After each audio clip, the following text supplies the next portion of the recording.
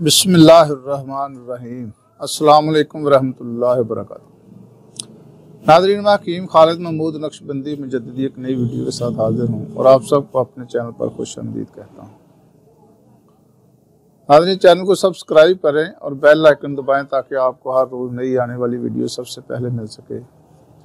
व इज़ा मृत तो फाहवा यशफ़ीन, जब भी मैं बीमार होता हूँ, वही अल्लाह शिफा देता है। शिफा देने वाली अल्लाह की ज़ात है दवा खाने से पहले ये दुआ ज़रूर पा लिया करें। व इज़ा मृत तो फाहवा यशफ़ी। तो आज का मेरा मौजू है खुश्क खांसी।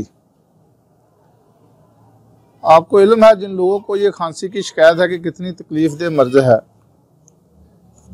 बच्चे को हो, बड़ों को हो तो ये आदमी को ना तो सोने देती है बेचैन कर देती है। बच्चे को हो तो उस खांसी की वजह से पूरा जो घर वाले जितने भी अफराद हैं, सारे के सारे परेशान रहते हैं। तो इसकी दवाई जो मैं आज आपको बताने लगा हूँ, कोई इतनी मुश्किल नहीं है। है भी आसान है, लेकिन है मुजरब है। आजमूदा नुस्खा है, आप इसको आजमाएँ, बनाएँ और अपने घर पर रखें, क्योंकि सर्दियों में इसकी ज़्यादा शिकायत होती है, लेकिन ये हर मौसम में हो सकती है।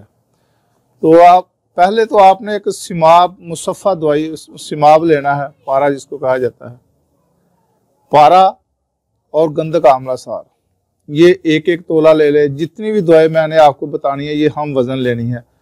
या अगर एक एक तोला ले ले दो दो तोला ले ले, जितनी आपको ज़रूरत है, उसके मुताबिक आप बना लें। आपको हुक्मा ज़रात बनाना चाहते हैं तो वो ज़्यादा बनाकर अपने दुकान पे मतलब पे रख के इस्तेमाल कर सकते हैं। इसको देखें, ये मैदे के लिए भी फ़ायदेमंद है। खसूसी तौर पर खुश खांसी के लिए और उमूमी तौर पर मैदे को फ़ायदा देती है। तो ये एक एक तोले का मैं आपको साफ़ बताने लगा हूँ कि पारा ला लें मुसफ़ा एक तोला और एक तोला गंदक ला लें। इन दोनों को आपने मिक्स पीसना है, इसको कहते हैं कुजली। इसकी कुजली बनानी है। दोनों को मिक्स करें, पीस लें, जब कुजली बन के तो इन, बन जाए तो इसको अलहदा कर लें। इसके बाद आपने मोचरस लेनी है। मोचरस गुलदावा ये दोनों चीज़ें एक एक तोला। इसके बाद अफ्यून, ये भी एक तोला। बिलगिरी, एक तोला। कथ सफ़ेद, एक तोला। नागर मोथ एक तोला। अंदर जो, एक तोला। और लोध पठानी, एक तोला।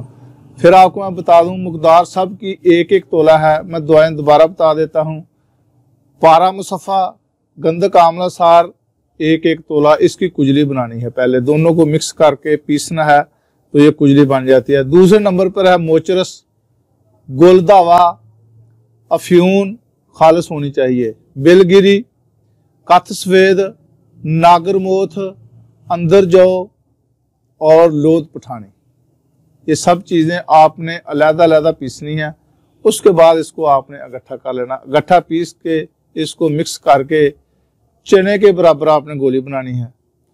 चने के बराबर गोली बना के इसको किसी भी कांच के बर्तन में, कांच के शीशी में इसको संभाल कर रखें। तो इसकी जो खुराक है, तीन अदद गोलियाँ। आपने एक तोला अनारदाना लेना है, उसको तवे पर रख के थोड़ा सा बरियाँ कर ले जिसको भूनना कहते हैं। आप बरियाँ कर ले उसका आपने शीरा तैयार करना है। उसमें शीरा निकाल कर उसके साथ आपने गोलियाँ देनी है दिन में दो मरतबा। तो ये जितनी पुरानी से पुरानी भी खांसी होगी इन ताला इस नुस्खे से आपको फ़ायदा होगा। तो इसको इस्तेमाल करें और मुझे दुआ में याद रखें। खुदा हाफिज़। असल वरहमल वर्का